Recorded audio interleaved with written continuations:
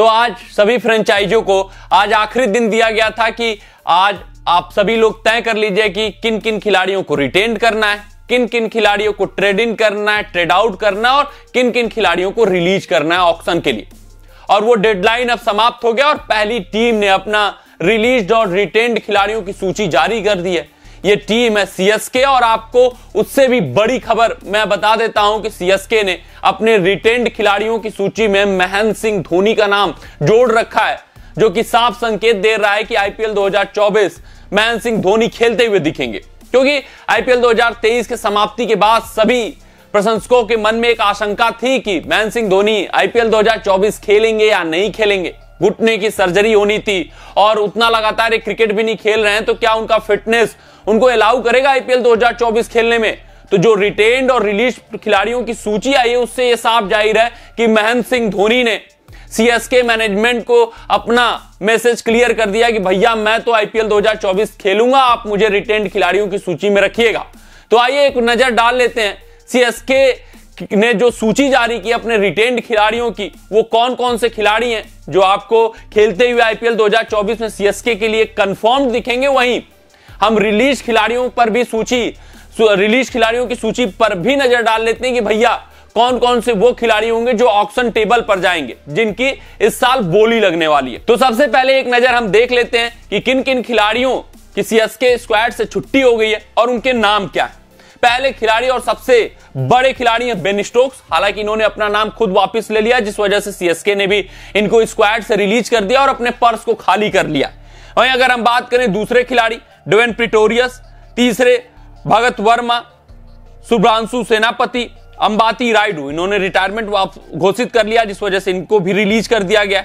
New Zealand के हरफन मौला खिलाड़ी काइले जेमियसन आकाश सिंह, सिसांदा मगाला।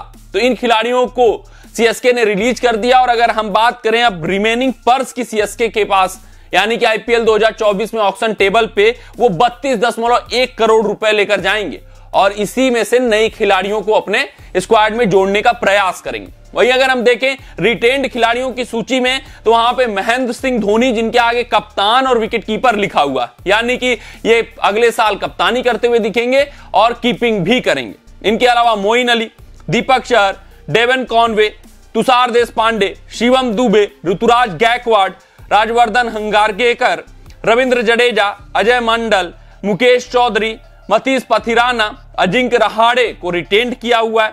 शेख रशीद मिचल सेंटनर सिमरजीत सिंह निशांत सिंधु प्रशांत सोलंकी महेश तीक्षणा यानी जो कोर ग्रुप है, जहाँ पर रिलाई करता है मेन स्ट्रेंथ हम बात करें सीएसके का तो उन सभी खिलाड़ियों को उन्होंने रिटेन किया हुआ है। मोइन अली भी हैं, प्रिटोरियस को हालाँकि रिलीज़ कर दिया है। वहीं सेंटनर रिटेंड किए गए हुए खिलाड़ी हैं। अजिंक्य रहाड़े को रिटेंड किया है, क्योंकि पिछले संस्करण में बहुत बेहतरीन उन्होंने खेल दिखाया था। Devon Conway, Deepak Chahar, Tushar Deshpande Shivam Dubey, Ravindra Jadeja, जो इनके मेन ग्रुप है, ऋतुराज गायकवाड़, ये सभी रिटेंड है और बाकी जिन खिलाड़ियों को उनको रिलीज़ करना था, वो रिलीज़ कर दिए। और उसके कारण बत्तीस दशमलव एक करोड़ पर्स में आ गया अब यह देखना दिलचस्प रहेगा कि ऑक्शन टेबल पे किस रणनीति के साथ महेंद्र सिंह धोनी जाते हैं। बेन स्टोक्स का क्या रिप्लेसमेंट वो अपनी टीम में जोड़ने वाले हैं, ये तो ऑक्शन टेबल पर ही पता चल पाएगा।